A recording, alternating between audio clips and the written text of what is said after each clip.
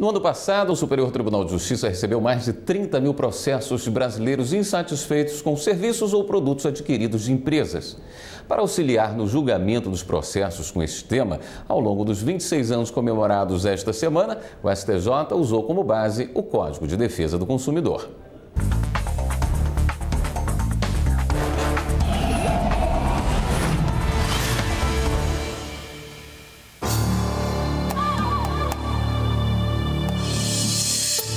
Samir é fisioterapeuta e vai até a casa dos clientes para realizar os atendimentos. Atividade que demanda tempo e gera gastos. Ele conta que para dar mais agilidade ao trabalho e diminuir os custos, decidiu trocar de carro. Mas o que era para ser solução se tornou um problema.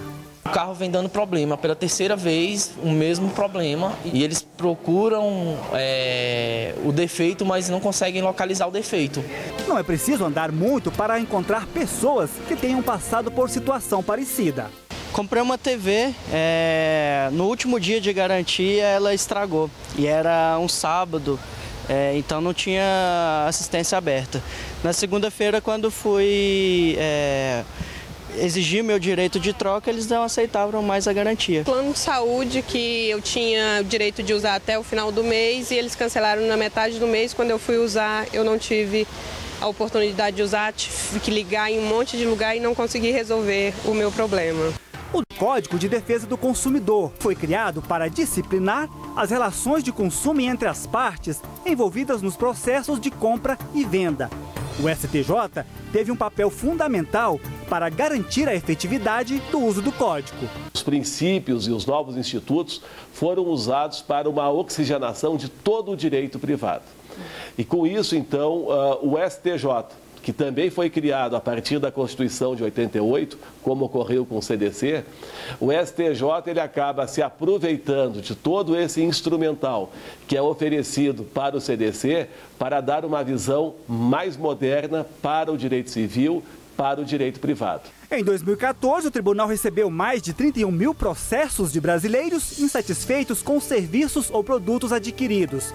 E a tendência é que este número aumente, na medida em que os consumidores passem a conhecer os próprios direitos. As relações de consumo elas são muito dinâmicas. Né? A gente acompanha isso no nosso dia a dia. Nós, temos, nós somos submetidos a uma publicidade muito forte não apenas através dos veículos de comunicação social, mas até diretamente hoje através do computador. A gente entrando em qualquer site, a, a, a, a publicidade realmente é massiva, então há necessidade de uma proteção é, efetiva do consumidor nos mais diferentes setores e pontos. E quando o consumidor não está com o nome sujo na praça, mas mesmo assim não consegue crédito para comprar? Em muitos casos, o nome pode estar no cadastro de pontuação usado pelas empresas, o chamado scoring, que avalia os bons e os possíveis maus pagadores. O sistema funciona da seguinte forma: na hora de aprovar o crédito de um cliente, a empresa consulta os dados do consumidor. Os bons pagadores têm uma pontuação melhor e conseguem créditos com mais facilidade e até juros menores.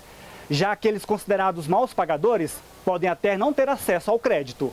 O scoring foi tema de uma audiência pública proposta pelo ministro Paulo de Tarso Sanseverino. Após o debate, a segunda sessão decidiu que o sistema é legal, desde que seja tratado com transparência e boa-fé na relação com os consumidores, porque as informações excessivas ou incorretas poderão gerar processos por dano moral.